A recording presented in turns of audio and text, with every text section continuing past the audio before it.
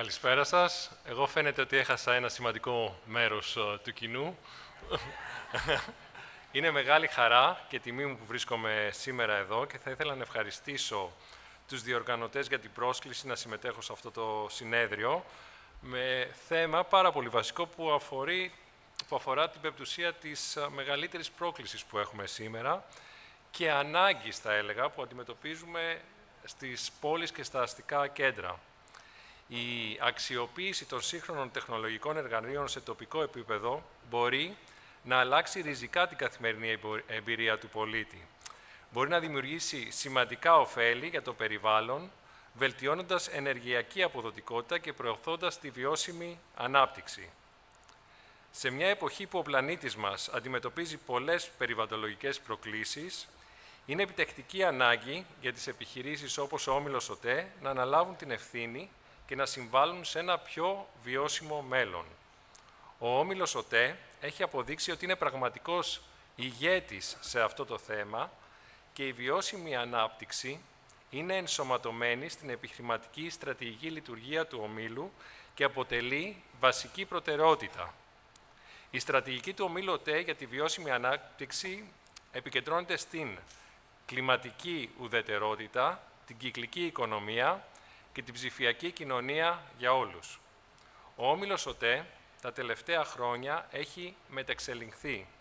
Εξακολουθούμε να είμαστε ο νούμερο ένα τηλεπικοινωνιακός πάροχος, αλλά ταυτόχρονα καταφέραμε να γίνουμε και ο νούμερο ένα System Integrators στην Ελλάδα. Έχουμε επενδύσει προς αυτή την κατεύθυνση τόσο σε στελεχειακό δυναμικό, όσο και σε υποδομές, ώστε να μπορούμε να αναλάβουμε, αλλά σημαντικότερο να υλοποιήσουμε έργα ύψης της σημασίας για τους πελάτες μας. Σε ό,τι αφορά μάλιστα τους Δήμους, έχουμε αναπτύξει ένα αρκετά σημαντικό πορτοφόλιο λύσεων και προτάσεων. Ένα τέτοιο έργο έχουμε ολοκληρώσει με επιτυχία στο Δήμο Λάρισας και αφορά την αυτοματοποιημένη διαχείριση του δικτύου πεζονδρόμων στο κέντρο της πόλης. Τα ωφέλη στους πολίτες είναι ήδη ορατά μείωση της κίνησης στο πεζοδρομημένο κέντρο της πόλης κατά 70%, η αύξηση του αισθήματος ασφάλειας των πολιτών, η παροχή από το Δήμο υπηρεσιών που βελτιώνουν την καθημερινότητα των επιχειρήσεων, η χρήση αξιόπιστων πληροφοριών και δεδομένων για τη χάραξη πολιτικών για την κινητικότητα.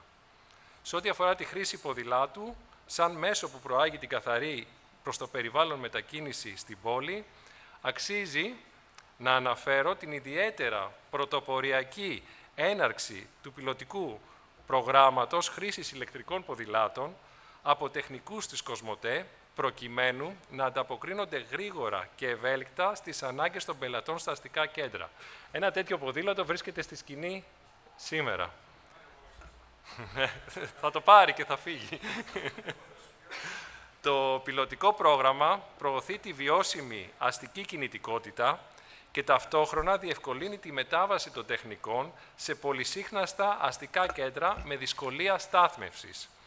Ήδη αυτά τα ηλεκτρικά ποδήλατα ξεκίνησαν να χρησιμοποιούνται σε τέσσερις ελληνικές πόλεις φιλικά προς το ποδήλατο. Το Μεσολόγγι, το Βόλο, τα Τρίκαλα που διαθέτουν ποδηλατόδρομους, πεζόδρομους, αλλά και η μορφολογία ευνοεί τη χρήση του ποδηλάτου. Επίσης, στο νησί της Ρόδου για τη διευκόλυνση της μετακίνησης των τεχνικών μέσα στην παλιά πόλη. Σύντομα, ευελπιστώ, κύριε Δήμαρχε, να γίνει και πιλωτικό πρόγραμμα στη Λάρισα. Κλείνοντας, θα ήθελα να ευχαριστήσω για την πρόσκληση στο Cycling Forum της Λάρωσας και εύχομαι καλή επιτυχία στο συνέδριο.